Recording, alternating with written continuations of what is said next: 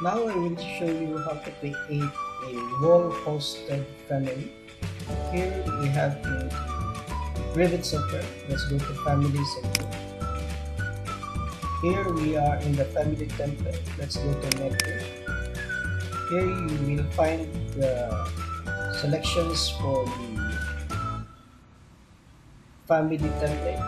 Let's go to the metric generic model which is ceiling base or floor base or wall base. Let's create a wall base family first.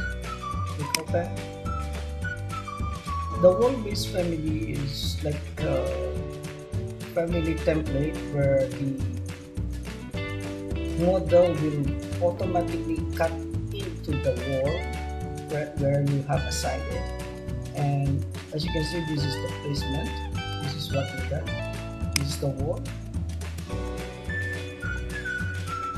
then if you go to the reference or to the left for front view right side placement this is the wall this is from the reference wall. So you already have the wall which will be placed or adaptive to the host space. So let's go to placement side which is supposed to be the front side let's create the profile we're just going to create a simple box profile create the parameter reference frame from the floor level you will have some reference and uh, side height of the box. Let's create this and let's create. Now let's create some dimension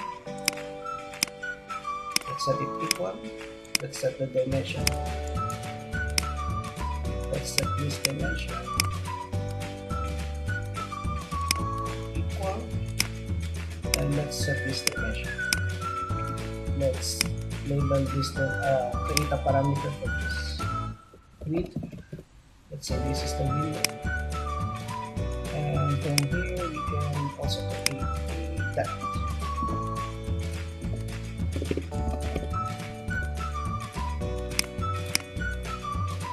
set this as we can now change the dimension to 180 and let's set that the window will be 1.5 for the box. Here we can set the dimension from the reference level by making a constraint. And let's put a, create a parameter with offset. So it means offset from the floor level let's set it as 900 now let's create the box by making an extrusion. Again we have to create it by that staying away from the reference line and we'll align it to lock it in position. Select the reference sorry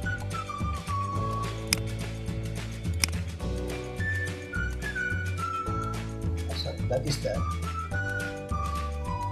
this is the reference plane this is the wall width so let's create this cushion of about 500 so you can clearly see it. Okay we finish. When you look at the 3d view this is what we have. Let's place some materials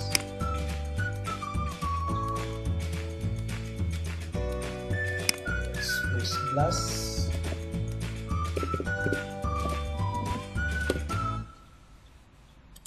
let's get glass and uh, let's use the appearance and transparency apply when we go to shaded so this is the glass it doesn't protrude to the other side so let's push it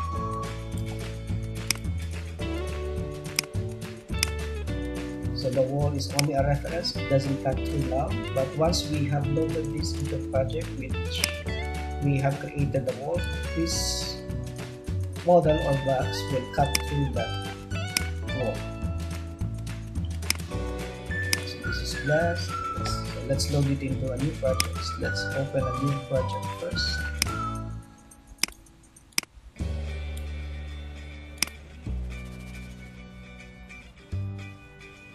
on level 1, let's just create a simple one. Uh, 200 million. Let's say we have four sides.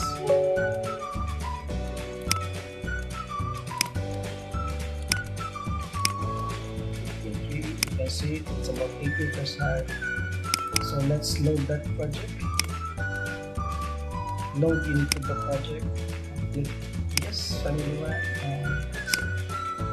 yes, it's automatically loaded now into our project. Let's go to architecture place component. This is the box now. See, it's automatically embedded into the wall. It will through the wall.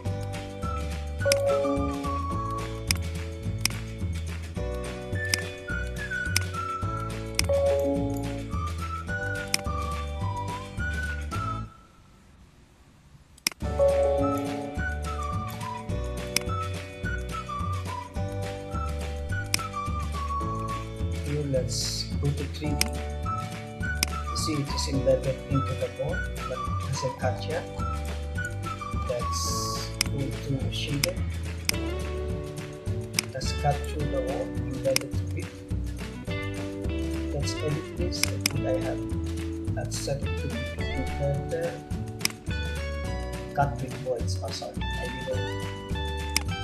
Let's set this as cut with voids. Then let's save it. Reload it in the first. Override existing parameter. So once we go to realistic,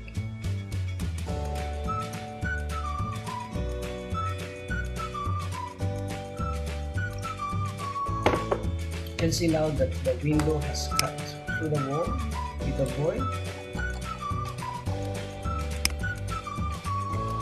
Cannot see through it because we have set it into a different material. Let's set the transparency.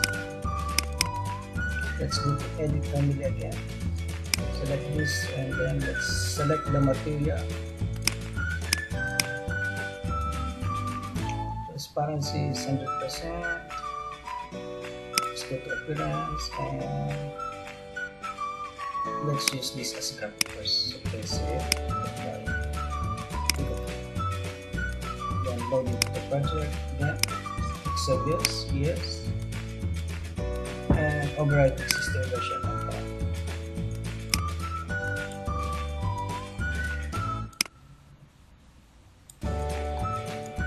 So that is how to create a wall-based family. Let's say you want to insert the wall component. It, it is automatically placed with restriction from the offset elevation, but it's automatically cut through the wall. So that is a wall-based family.